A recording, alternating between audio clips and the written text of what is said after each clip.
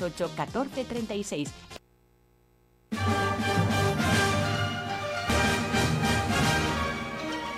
Madrid Norte en la onda. Sonia Crespo.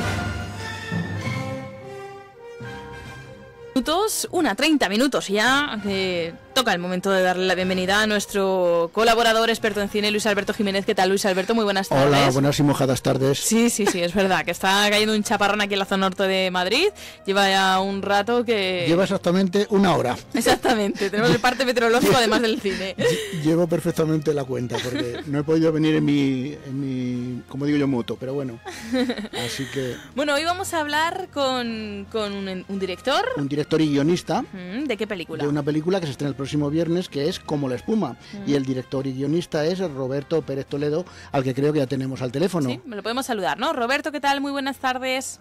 Hola, buenas tardes, ¿qué tal estáis? Me ha dicho Luis que antes de nada quiere mm, mandarte un mensaje. Así Sí, que le dejo. Quiero hacerlo en antena y, públicamente, darte las gracias por tu colaboración en el libro que hice sobre la discapacidad en el cine, en tu película, en tu anterior película, seis, seis puntos sobre Enma, que me enviaste unas líneas y que yo Ah, incluí, vale, vale, y vale, que yo incluí gustosamente en, en- en la ficha de la película y mi comentario, pues nada más que quería hacerlo constancia a todos los oyentes, claro. Oye, pues mu- muchas gracias a ti No, no, no. el libro que sacaste del manga, que es un pedazo de documento para para histórico, Sí. con una recopilación que, que va a ser muy útil siempre. Sí, y que enhorabuena. A ti. Para, nada, muchas gracias a ti. Y para la, se- que la segunda parte que estoy un poquito preparando, todavía no sé cuándo la voy a empezar, por supuesto esta película de la que vamos a hablar hoy también va a ir incluida. ¿eh? También entra, O sea sí, que, también entra. sí. Si te parece, vamos a empezar. Vamos a explicar Vale. primero de qué trata Como la espuma y por qué elegiste ese, ese título. Y enseguida vamos a explicar también por qué tendrá cabida en el segundo libre-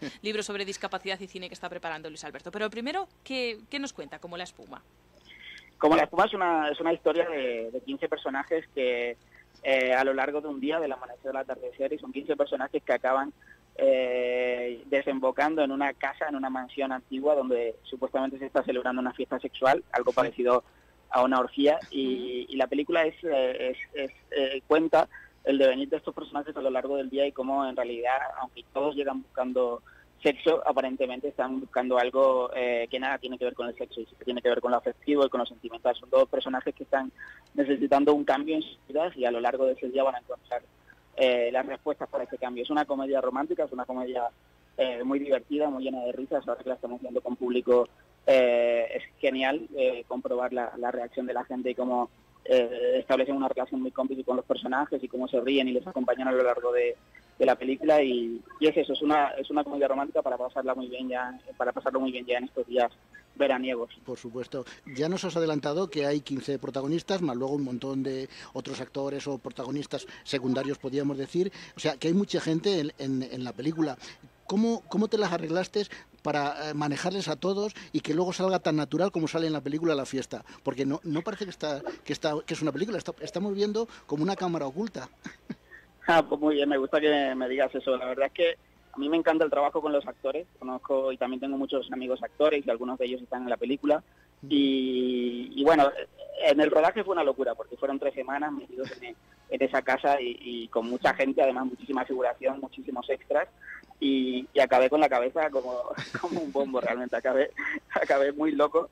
Pero a mí, me, ya te digo, me encanta el, me encanta el trabajo con los actores y, y, eh, y eso ha sido un gusto realmente en la película. O sea, o sea, poder construir una, una historia de, de personajes y hacerlo mano a mano con los actores, con actores que también eh, a los que yo dejaba libertad, lo que tú dices, la sensación de, de, de estar dirigiéndoles, pero al mismo tiempo también estar recibiendo feedback de ellos, que eso me, me gusta mucho como director y, y la verdad es que es una- un gusto, realmente un gusto. Eh, también teníamos a nuestro favor el, el rodar en una sola localización, con lo cual estábamos Sí. todos allí metidos y fue muy muy divertido, realmente. Y con la piscina, claro. Con piscina y con de todo, y con agosto, y con, y con muchísimos grados.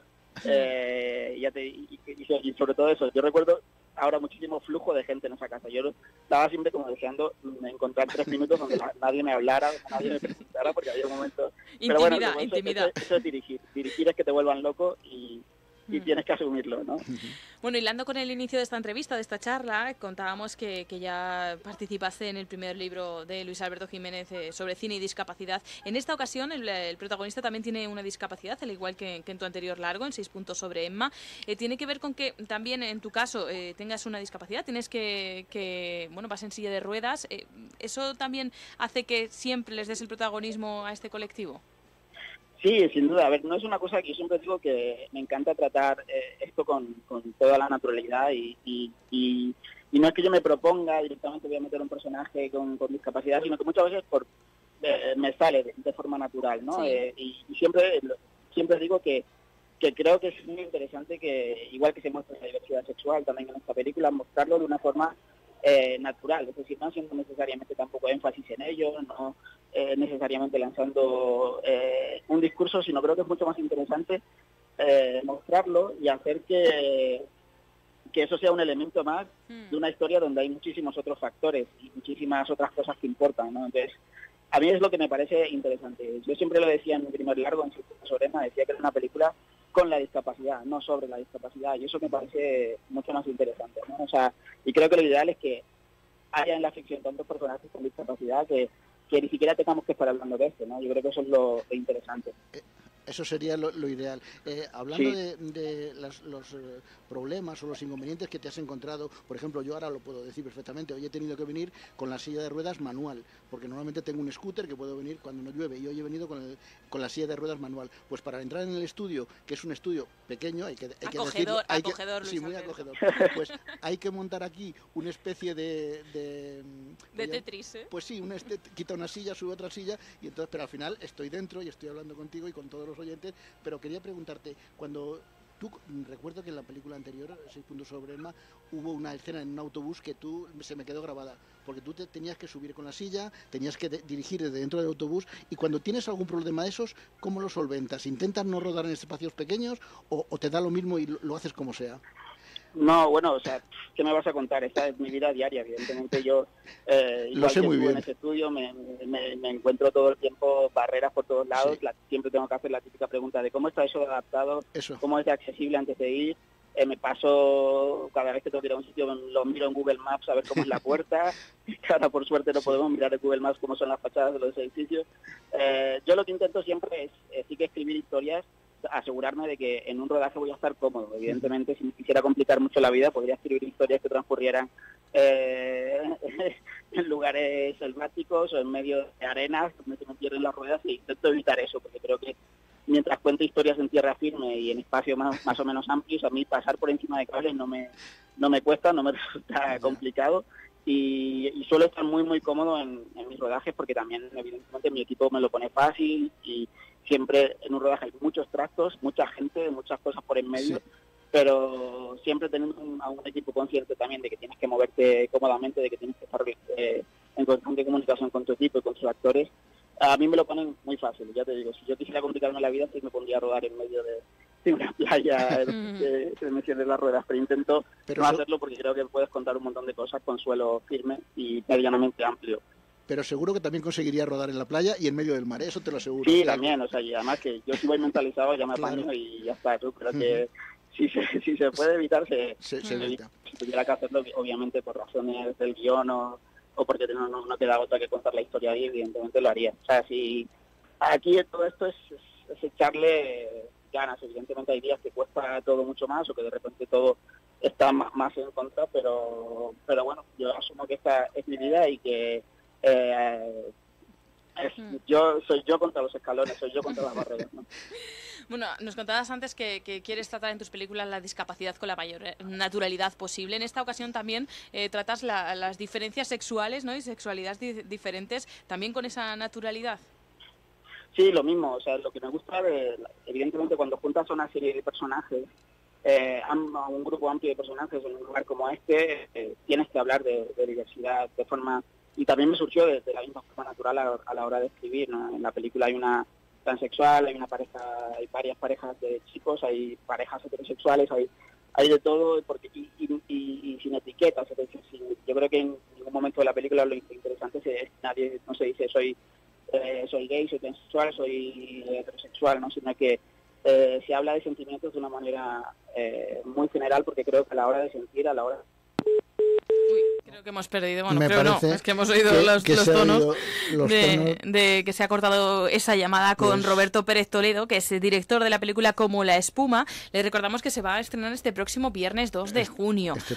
Una película, bueno, pues que en la que se trata ese tema de la sexualidad, pero también de la búsqueda de afecto, eh, la discapacidad con normalidad, como nos ha contado su propio director, Roberto Pérez Toledo. Y si quieren acercarse a ver la película, la película pues enseguida estamos intentando retomar esa, esa conversación Para por lo menos despedirnos de él. para despedirnos de él, Claro, por lo claro. menos, y que nos diga, bueno, pues en cuántos cines está previsto que se, que se estrene esta película y también el público objetivo, porque Luis Alberto, hemos estado viendo algunas imágenes del tráiler según hacíamos, teníamos esta charla con, con Roberto y, y claro, mm, algunas tienen carácter sexual, En, en principio ¿no? parece impactantes, pero luego cuando ves la película, en el contexto de la película, no es tanto como parece en el tráiler. Claro. El tráiler está, está hecho como siempre para enganchar, Para enganchar. o para sorprender. Sí, y bueno. luego en la película Nos no, ha no es contado tanto. que es una película que al final sí, sí. casi es una comedia Romántica. Claro, es que es lo que ocurre. que Lo que pasa que con esa tilde cuando, sobre todo el empiece de la película, que es Hmm. un poco. mm, no te lo esperas y ya te, te sorprende en el principio, pero es una película divertida, se va a reír la gente con ella y va a pensar también que lo importante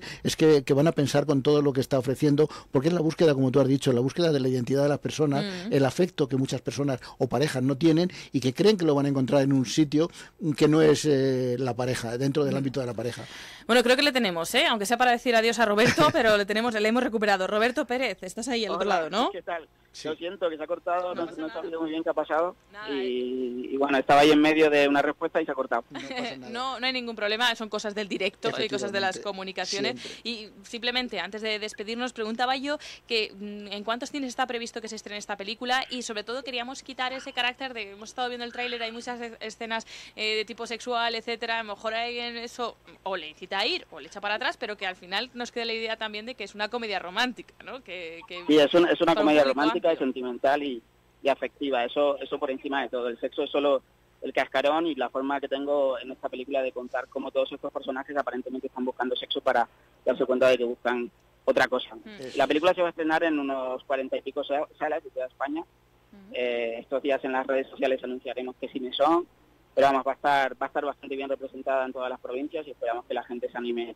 se anime a verla porque lo va a pasar muy bien. Seguro que Pues sí. esperamos que esto tenga suba como la espuma, ¿eh? el éxito Eso, de, esta, eso, de esta eso. película. Ya lo saben, como la espuma es la película que se estrena este viernes 2 de junio. Hemos estado hablando con Roberto Pérez, que es su director y guionista, y ha sido un placer charlar unos minutos. Roberto, Un muchísimas placer, gracias. por muchas gracias a atendernos. los Muchas dos. gracias por atendernos. Un un saludo. abrazo. Un saludo y Hasta hasta luego. pronto. Pues Luis Alberto, Eh, ahora para despedirnos, si te parece, dejamos un, hemos visto las imágenes. Ahora vamos a dejar un pequeño corte con, sí, con un, corte sonoro de- para de la- escuchar de algo del tráiler de esta para película. escucharlos. Nos volvemos a ver la semana que viene. Hasta la semana Hasta que viene. entonces. Hasta luego. ¿De dónde ha salido esta gente? Son invitados a tu fiesta de cumpleaños. Mandé un mensaje a una amiga que me debía un favor. ¿Qué tipo de mensaje? No sé, un mensaje anunciando una fiesta divertida. Gordos, calvos, negros. Por algo habrás venido, ¿no? ¿Para qué has venido tú? Yo he venido a encontrar el amor de mi vida. Siempre he sabido que tarde o temprano lo encontraré.